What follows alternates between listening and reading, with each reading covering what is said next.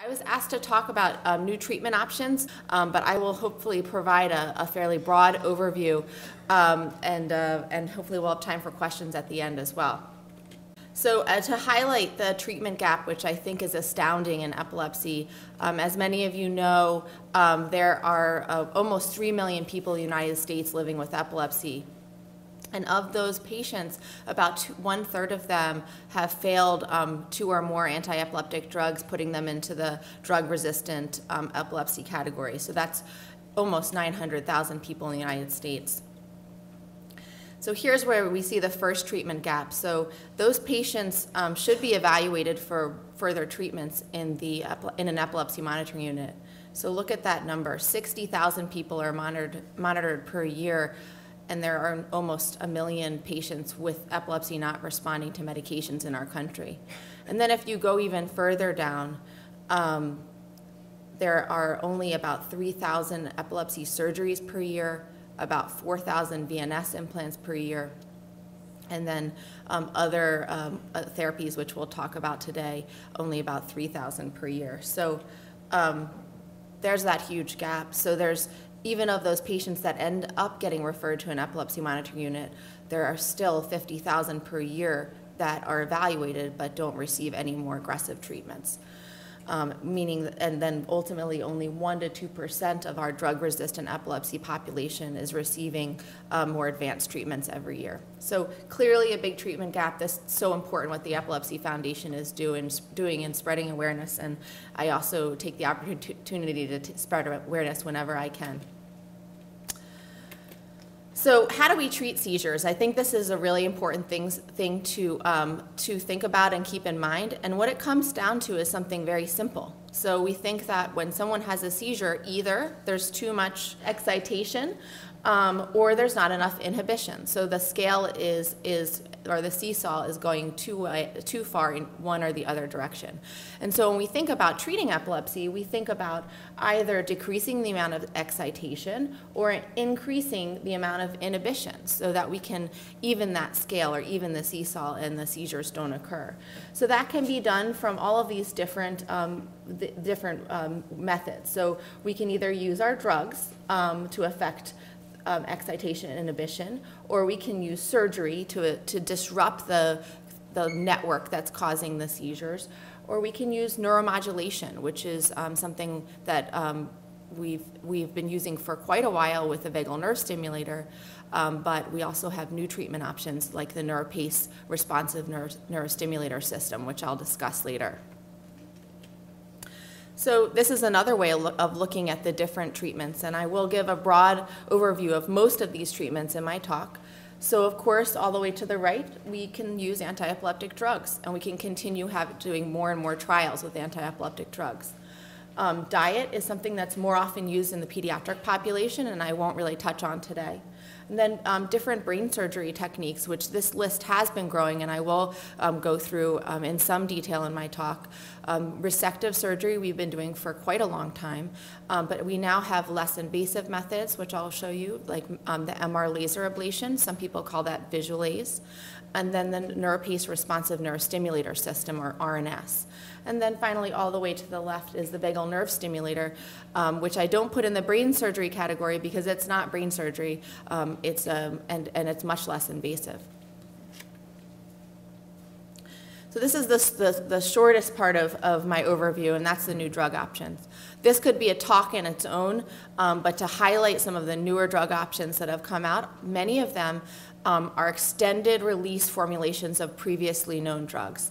Um, and that, and to, you know, it's important that, that patients discuss whether these are good options for them. Most of them do come in brand only, so for certain patients it could be quite a bit more expensive. There are advantages to extended release formulations. For instance, it can keep your levels more even throughout the day. It may allow you to take medications only once a day in some circumstances. Um, and then the other most new, new medication on the block is also perampanel or Fycompa. Actually, there was recent research published that it indicates that it can actually be used for both generalized and focal epilepsy, so it's a broad spectrum agent. And this is working on that excitatory part of the, um, the epilepsy network. It, it, is a, it works on a receptor for glutamate, which is the most, excite, the most common excitatory neurotransmitter in the brain. Not on this list, but should be mentioned. I think people still think of some medications like Vimpat or lacosamide um, as newer. Um, it's now been on the market for quite some time. And then, not new at all, but newer to the United States um, is Onfi or clobazam.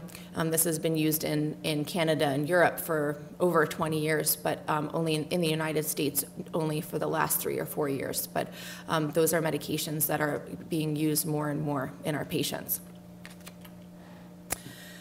So I'm getting, I'm going to introduce this as another medication because I think that um, that this is the number one thing, first of all, that's asked in my epilepsy clinic. And um, as a scientist, I think of marijuana or um, CBD, as some people talk about it, as another possible drug option. That's it's it, and I and I hope that you'll take take that home when I go through my slides because it's a very complicated drug, um, and we need to learn more about it. But it is a drug, um, just like um, lacosamide or clobazam, like I just mentioned. So really important to keep in mind. This has gotten a lot of press, um, and I think that's in one way wonderful because it brings um, epilepsy to the national conscious and people are being becoming more aware of epilepsy because this has gotten so much press but there is danger in that um, and i think it's given some patients false hope that this this quote unquote natural option is the cure all. So I'm going to go through the data and I'm going to spend some time on this because um, I hope that it gives you some insight to why it's not getting approved so quickly and why your physicians may be resistant to recommending it um, you know, with a lot of confidence, because we just don't know yet. I do want to give recognition to some of my colleagues at the University of Colorado, where they do have legalized marijuana. They have um, done some work on this and shared some of their slides with me. Um, and again, they I've spoken with them, and they have a different type of insight into the use of medical marijuana in epilepsy because in their state they can prescribe it. So I'm not going to go through this whole slide because it's quite complicated, but I, it's mostly to highlight that this is a very complex drug. So cannabis um, actually is uh, made up of 500 different compounds. And depending upon where it's grown and what kind of, of marijuana that you have, it could vary significantly because it is such a complex um, compound. In the cannabinoid group, there are 66 known phytocannabinoids in 10 subclasses. The THC portion is that main psychoactive component, that part that makes you high. The CBD or cannabidiol portion is the part that actually has been shown in some animal studies and, and to, to maybe improve the um, incidence of seizures and also um, is now being used in some clinical trials. There are other um, types of cannabinoids. There's the endocannabinoids. This is the kind of cannabinoids that we all have in our brains already. They're um, endogenous, that means they're in the human brain already. And then there's synthetic cannabinoids, which you may have heard about. They are, you know, can be purchased on the um, illicit market, and um, there have been reports of very serious um, health problems associated with that, especially in young people. Finally, hemp, which is part of the, um, the plant, um, and this is actually made to, used to make some industrial materials and, um, and like clothing goods and such. So. So this is the endocannabinoid. These are the ones that we all have in our system. And I'm not going to go through the chemical structure, but I think it highlights why this drug might actually be useful. We already have something in, then in our body that's very similar to it. And so enhancing the action of, of that substance um, may help um, or hurt some parts of our brain. Again, this is just more detail about that um, endogenous endocannabinoids that we all have. Um, fairly complex, but I think I'm put, I, I show this to highlight how, how complex it is. So you can see in the bottom right that activation or use of this substance can lead to changes across so many different parts of our, ner our nervous system and our neurons or cells that are, make up our brain. So what is the clinical evidence for epilepsy? So um, there isn't very much, which is something that I think is really important to highlight. And it's we need more evidence. I'm not saying that we don't need more evidence, um, but I think it's important to know what evidence there is. So there actually have only been a total of four trials with 9 to 15 participants in each trial. So that's very small numbers. In contrast to our, our, our uh, standard drug trials, which will have thousands of patients enrolled. In these four trials, there was improvement in seizure frequency in half of the trials. Not half of the patients, half of the trials. Um, so interestingly, um, in a survey of parents of children with treatment-resistant epilepsy, they um, they presented a survey electronically on Facebook where there was 150 members. There were 19 responders, and of those, 84% um, reported benefit. So this is a very biased study. I just want to highlight that. And I think it's important to highlight that because when you go on blogs and et cetera and talk about treatments and medical marijuana or anything in epilepsy, you may be getting a, I would, I would I would say you're probably getting a huge misrepresentation of the real clinical experience um, because the people that are reporting on those blogs, they're desperate. Everyone's desperate. We want things to work. And that's something called the placebo effect. And it's something that when you do studies like this, you're not going to get the full story. So um, the Co recent Cochrane review, which is a very well-respected um, type of review that occurs across multiple fields of medicine, concluded that there is no reliable conclusions drawn at present regarding the efficacy of CBD or marijuana as a treatment of epilepsy. And the American Academy of Neurology recent systemic review agreed. There are also um, position statements of multiple different other medical um, associations that all recommended additional research, which I think is crucial prior to routine clinical use. So what research is going on? So there is a study called the EPIDIOLEX study, um, which is using that CBD portion, which is that portion that I mentioned before, which does not make people high, okay? So um, this is an open label prospective study. Um, they've enrolled 137 participants at 11 sites. These are in pediatrics with average age of 11.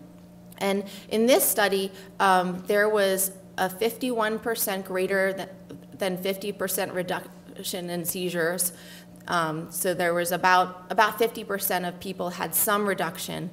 Um, in subgroups, there was a, a, pretty dramatic improvement, and this is what you know was publicized in on TV initially with the few patients with this very specific, very rare syndrome called Dravet syndrome, um, where there seems to be some significant um, positive response in this very um, unique sy syndrome, and I think everyone in this audience knows that not all epilepsy is created equal, and there are very complex, different types of epilepsies, and maybe this type of treatment will be very good for some types, but not for others. There were side effects, so I think this is back to my point that this is a drug. Um, there was somnolence or you know tiredness um, in a good portion, 21%, diarrhea, fatigue, and decreased appetite, all in over 15% of the patients. In this study, there were no changes in like the kidney or uh, blood markers on their labs.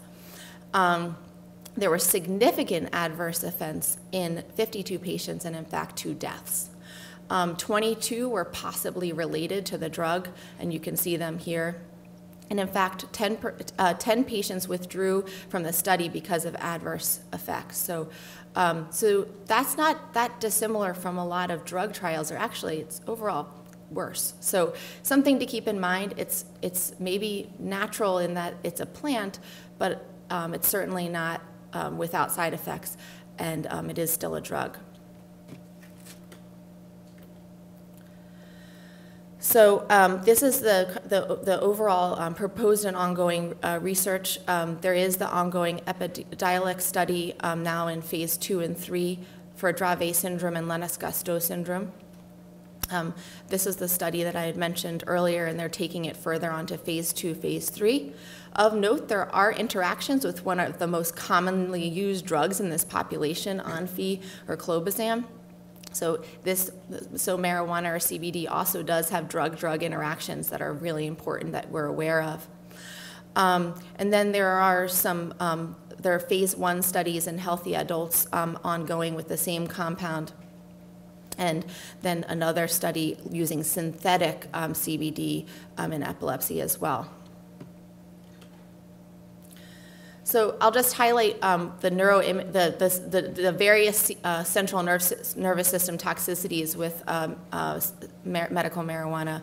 Um, the overview is that there's data both from human and animal that there's neuroimaging changes. Um, there's human and animal data for learning, memory, and cognitive changes. There's data that for worsening uh, risk of major psychiatric disorders and effects on sleep and risk of stroke. So I won't go through this. I highlighted the things that I thought were most important.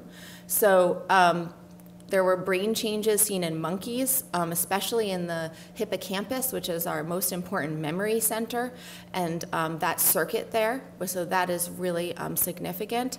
In humans, um, there were changes on imaging in various regions in studies looking at patients smoking marijuana. In addition, another imaging study showed changes in a functional um, measure, which is functional MRI, um, also in chronic marijuana users, users compared to controls. And um, there are various others, there's actually a, a fairly large body of literature, as you can see, that um, suggests that not only there's changes in our brain networks when we use uh, marijuana, but also it results in um, affecting, affecting possibly the memory areas of your brain and also overall brain volume. So these are all things that I, as a neurologist, am very concerned about. There's also a lot of evidence um, that it affects learning and memory. So um, there, there has been work looking at the effects on a long-term potentiation, which is very important for memory, um, in addition to hippocampal function. Um, Adolescent rats, um, so in animal studies, have displayed greater cognitive impairment than adults when they've had um, THC um, or uh, marijuana exposure during um, their their adolescent years. So that's very relevant to our patients, our and um, these studies that where we're, we're putting giving these medications to children. And um, looking at a study of multiple sclerosis patients um, using medical marijuana, um, they, had sh they showed um, poor performance in patients who were using marijuana on various different measures of cognition and um, ability to function. So um, I mentioned there are also psychiatric toxicities. There's been an association with increased risk of schizophrenia in marijuana users and also depression. Um, in addition, um, there been, there's been a body of work looking at um, difficulty with sleep initiation um, in uh, marijuana users. And finally, this is something I've seen in my own hospital with the synthetic CBD analogs. I've, we've unfortunately seen young people come in with strokes. Um, so, um, so these are all very concerning, and again, just highlighting the fact that this is a drug, um, and we need to study it. No, I'm not I'm not saying this isn't going to work for some people. We just need to study it and you know do. Uh, fortunately, there is ongoing research. Um, and so this is another thing that bring, comes up all the time, and that is that um, it you know there's a variation state to state in terms of um, whether or not you can buy or sell marijuana, whether you can actually grow marijuana. It's very interesting that some states will allow you to sell it but not grow it, et cetera. So it becomes extremely complex, and then and it's going to be very hard going forward if we can prove that it's very efficacious in certain epilepsy syndromes, to make sure that we're standardizing the product, it needs to really make, we need to make sure that we're giving the same drug, the same amount of drug every time, just like we do in, with the rest of the pharmaceutical industry. And this just highlights what I just, um, just said. So um, to follow up what they do at Co Children's Hospital of Colorado, where they, um, uh, the the um, chair of neurology was a was previously at Children's Hospital of Pennsylvania, who I know really well, and um, they are there. There are people there that are following these patients um, and trying to get gain more data because their patients are using it, whether or not it's prescribed or not. Um, so currently, they uh, are, know of 113 patients in their practice that are using medical marijuana or CBD. Um, and they've done retrospective studies to look at the types of patients, and you can see that Lennox-Gastaut syndrome was the most common. They didn't see a response difference by seizure type. And they did EEGs um, in about in 30 patients before and after the um, starting the uh, the drug, and there was no um, improvement on the EEG in any of the patients. Um, three of the non-responders actually had improvement on their background EEG, which doesn't make much sense.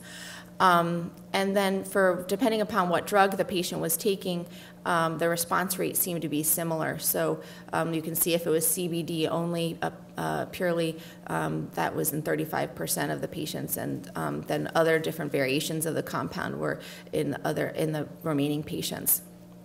Very interestingly, and this is, I think, getting back to the placebo effect and all of our desire to get better, um, is that families that moved out of state, which was 45% of the patients, in order to get medical marijuana therapy, were three times more likely to report an improvement. So, um, so I think again, this highlights that we need to, to know more about what we're doing here, and um, and uh, be able to guide families as to what the best thing is to do for their ch child. Um, so what were the other side effects? 56% um, of, of, of the families reported other improvements, improvement in alertness, behavior, language, motor skills, sleep, but 44% had adverse events um, with increase or new seizure types in 16%. Somnolence, fatigue were common, GI symptoms, developmental regression, et cetera. So what do they do there? And I think this is important for me to take home because I struggle with how to counsel people on the use of um, medical marijuana. So they actually do not recommend use of CBD for treatment of epilepsy outside of a clinical trial because that's how we will learn whether it works.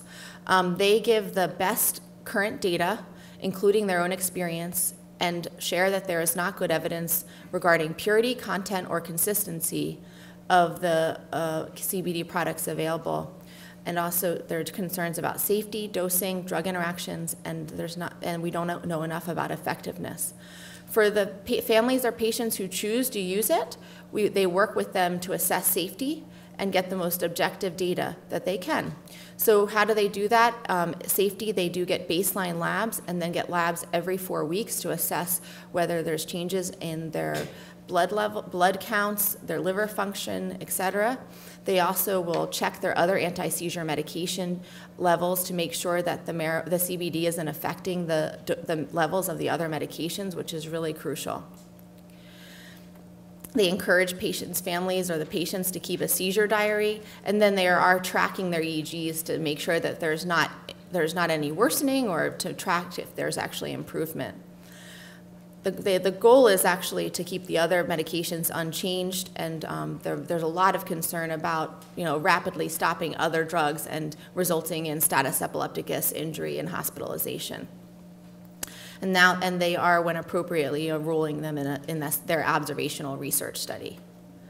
So in conclusion, I know I spent a lot of time on this, but in, in reality, I spend a lot of time on this every day in clinic. So um, it, this was a good process for me to go through to kind of uh, solidify my thoughts. Um, but I think it's important if you can spread the word about the need for more research, um, that would be really um, invaluable. So um, the CBD system is a, has significant representation in many brain regions, so it has very broad action. I think it is a very promising target, but the mechanisms are very complex and we need to know more. Clinical data um, is available for some indications, but for epilepsy, it's still very sparse and oftenly poorly conducted. We need more um, research that's conducted um, across multi-center studies in a valid way. The extensive literature on potential toxicities really highlights the need for safety monitoring by a physician, especially in our young folks.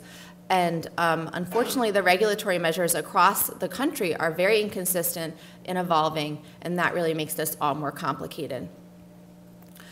Um, so, and finally, the increased use of these kind of complementary alternative medicine indicates that there's really an unmet therapeutics need and highlights this need for patients and their families to talk to their doctor. So I think if you want to take anything home from this, if you do cho choose to, to um, use CBD or marijuana for your epilepsy, you please communicate it to your physician. They need to actually follow um, your labs and your other drug levels and make sure it's safe for you.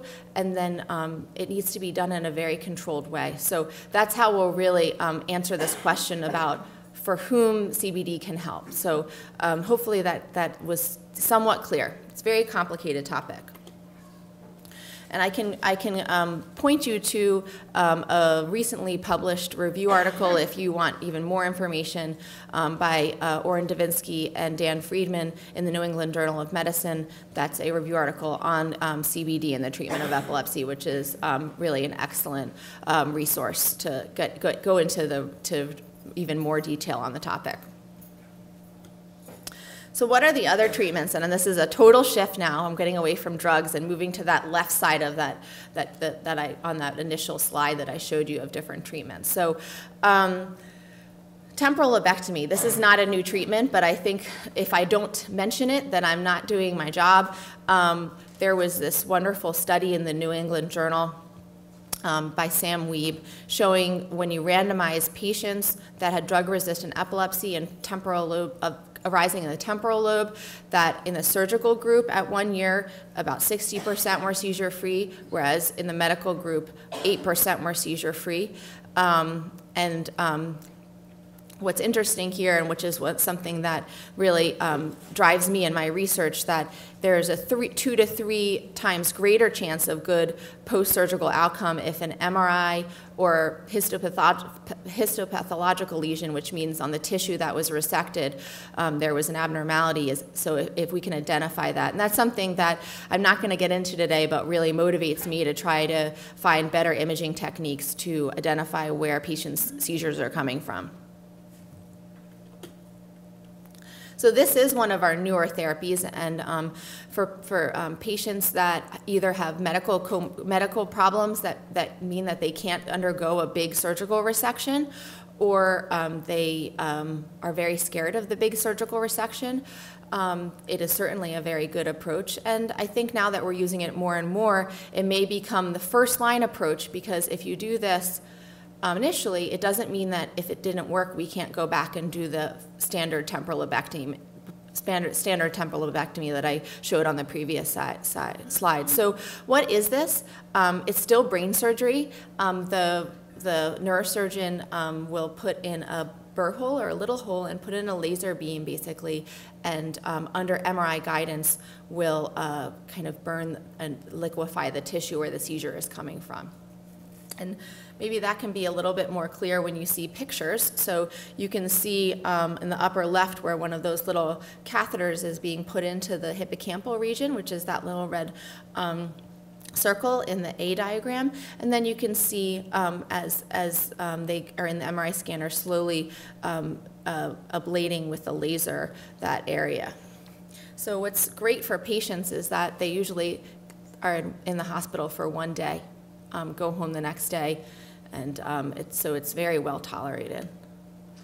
Um, it's mostly been done in patients with temporal lobe epilepsy, but we are starting to use it for other types of epilepsy. And in fact, this was developed for um, brain tumors that couldn't be surgically um, resected or you couldn't reach or safely resect. So um, this is a, a one case report that's been published, but we have done some laser ablation at Penn, so I think um, there's a more broad use for for um, heterotopias are not, or seizures that are rising outside of the middle of the temporal lobe. It's very quick. It takes a lot longer than that because they have to, to go in and out of the MRI scanner, et cetera. But, um, but it's a pretty simple um, approach compared to the big uh, resective surgery that we do standardly.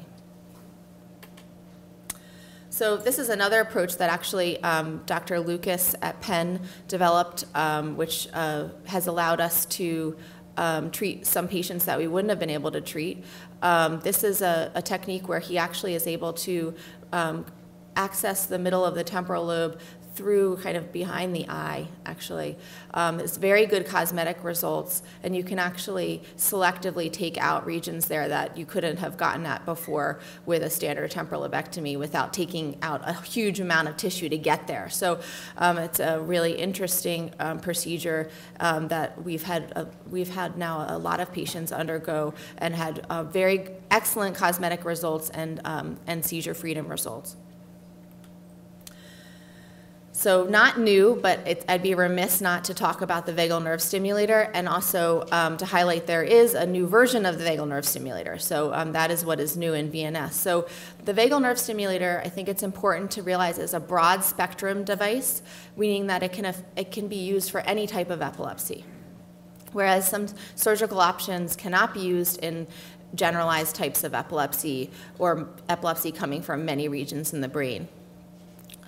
The mechanism is largely unknown, but it's thought to be a, what, a fancy word called neuromodulate, which um, means that it's um, trying to uh, affect the overall excitation inhibition balance that we talked about before. So in patients with the VNS, there's about a little bit more than half responder rate with, with at least a 50% reduction in seizures. And that doesn't sound fabulous, right, um, to most people. But if you compare that to when you're trying your third medication, where the chance of, of becoming seizure free is less than 1%, then it sounds excellent. Um, so um, I, I, think I use vagal nerve stimulators a lot. Um, it's a very non-invasive outpatient procedure. It is not brain surgery, um, and and some patients do exceedingly well on it. So um, something that you should talk to your physician about if you haven't already and are still having um, seizures. So they've just developed a new device called the Aspire device, which actually um, adds a feature to the device where it actually can be triggered by an increase in heart rate or tachycardia. Um, and actually, when patients have focal types of seizures, about 85% of them will have a significant increase heart, in heart rate during the seizure. So there is some, some sense to, to trying to trigger to increase heart rate this is not data specifically on the on the, the Aspire device or that heart rate device, but overall for vagal nerve stimulator. And what I like to highlight here is that um, it does seem that, that, and this is the same for the NeuroPace responsive nerve stimulator device, that over time there's increase, it works better. So increase in efficacy. So you can see that at two years, um, four years, six years, there's actually, um, it does seem to work better. Um, so I, the point of this is that I always tell patients not to give up on these devices at the one year mark. So um, it may still improve your seizures.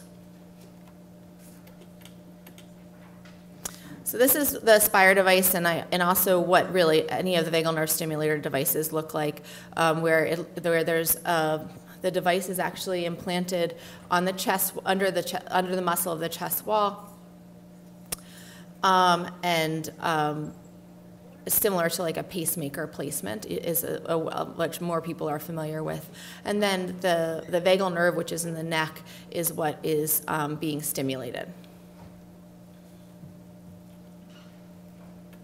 This has multiple things. So um, the, this is what I said before, where there's a very high incidence of, or high rate of, most patients have increased heart rate during seizures. So, um, so in this, the new device, the Aspire device, you can actually program it. The doctor can program it for a certain heart rate to start firing off the stimulation. So um, the downside of this is that um, it does take up more, more of the battery life. So depending upon what your physician sets the device at, the battery might actually drain more quickly. So that's something to consider. And if, if the, but with the new device, you don't have to use the, the heart rate portion. So if the heart rate portion doesn't seem to be helping at all, then you can turn it off and the battery will last longer for the vagal nerve stimulator.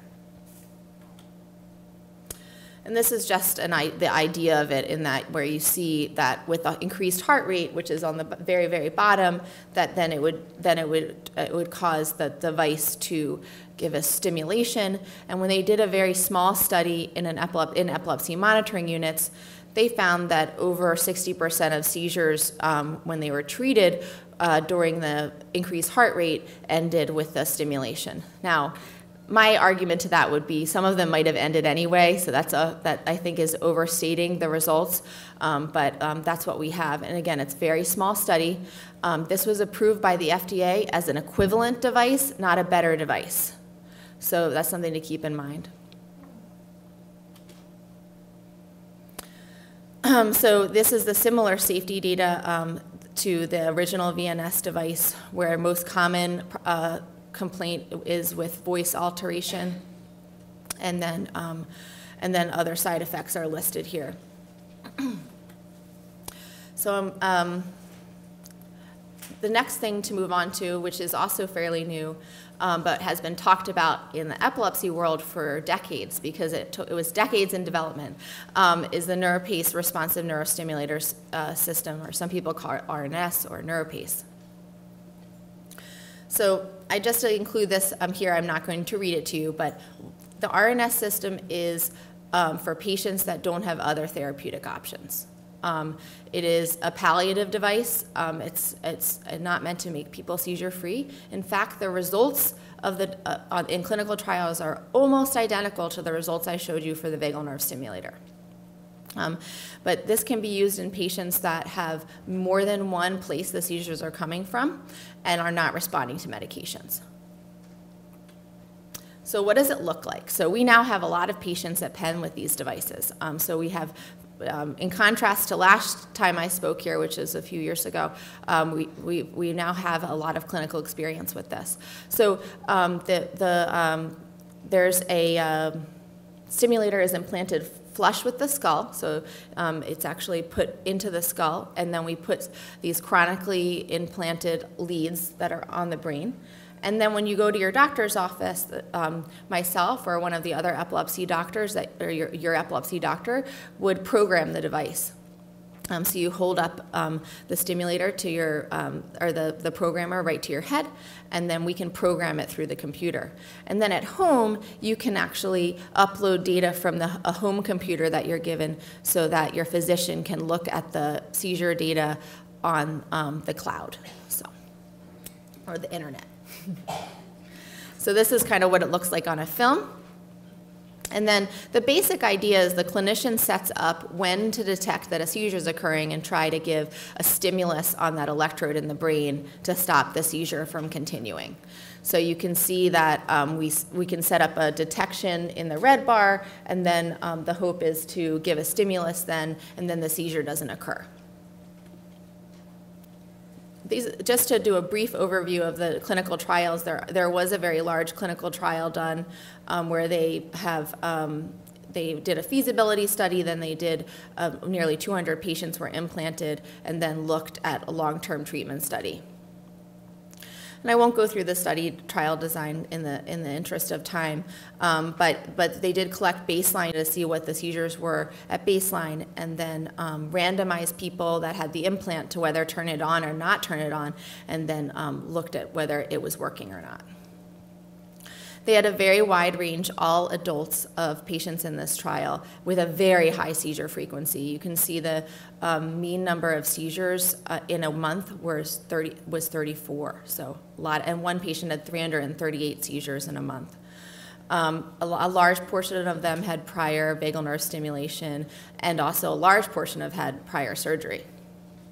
So um, this is a very complicated slide, um, but it's basically showing that compared to not turning it on versus turning it on, there was a, a significant difference in how many seizures there were. So um, what's important to realize that the likelihood of it of people responding didn't was not shown to be uh, related to whether they've been previously treated with surgery or vagal nerve stimulator um, or other factors. And this is the slide I was talking about before. It looks almost identical to the vagal nerve stimulator slide in that as time went on, it looked like um, patients were responding better. And if you look out even farther than that, that um, bore true as well. So you can see the responder rate is very similar to the vagal nerve stimulator with about 50 to 55% of, of patients having at least a 50% reduction in their seizures. Um, what's interesting is they looked at a lot of other measures, and there was overall improvement on a lot of, of of uh, quality of life measures. Um, so that's always important as when we think as physicians about using this, this kind of treatment, making sure that we're not um, hurting other parts of a patient's life.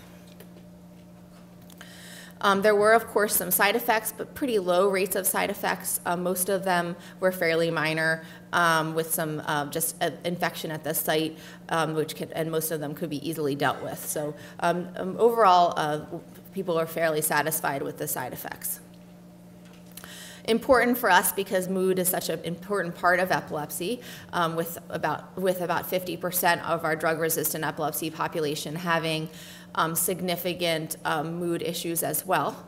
Um, they didn't see any uh, adverse or worsening of mood in that initial study. So that was really very important piece of this.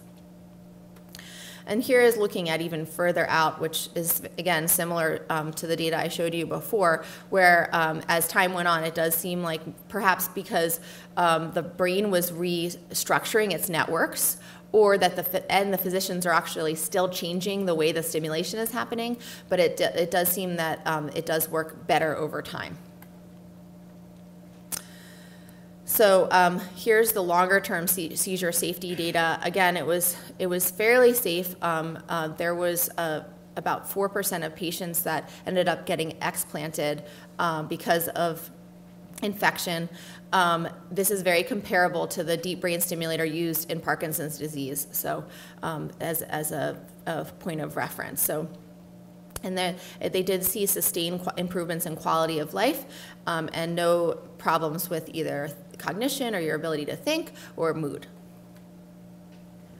So in summary, the RNS system um, you know, has been proven and approved by the FDA as an effective and, and safe treatment for drug-resistant um, epilepsy patients. Um, this is for a very isolated group of patients who, um, in my mind, have really run through the other possibilities. But in those patients, we're fortunate to have another thing that we can offer offer them. And like I said, we are starting. Um, we have we have now quite a few patients um, that are uh, that I, that overall have been quite satisfied with the NeuroPace device at our center. Um, you can still be a candidate if you've had prior surgery, prior vagal nerve stimulator implantation doesn't mean that you are not a candidate. And again, for us as physicians, we never want to give up, and um, this is something that gives us another option to, to treat our patients that um, that were really struggling with the the, the prior available options. So, um, so hopefully, we over time will even be able to improve how well this device works as we. Um, improve the way that we stimulate, improve our knowledge of where's best to stimulate, um, and um, improve our knowledge of which patients are the best to pick for stimulation.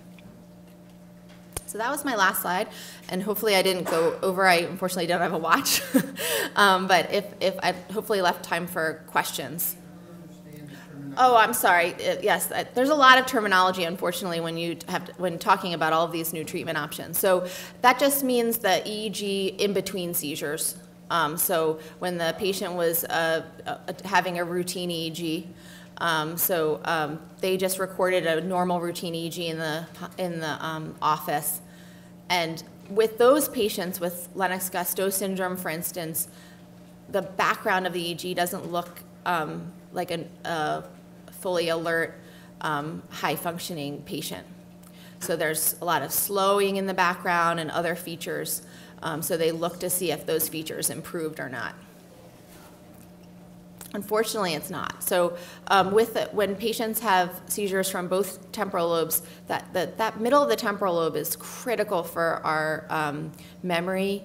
Um, so you can't take, you cannot remove both. So it's still removing the function when, when you're doing the um, laser. So it's very important that you um, are carefully evaluated for whether you'll still be able to function, um, have um, the memory that, that would allow you to do so. So um, for patients with, sometimes patients with a bi bilateral onset are very good candidates for um, the NeuroPace RNS system. I am going to have to cut. Okay. Thank you, Dr. Davis.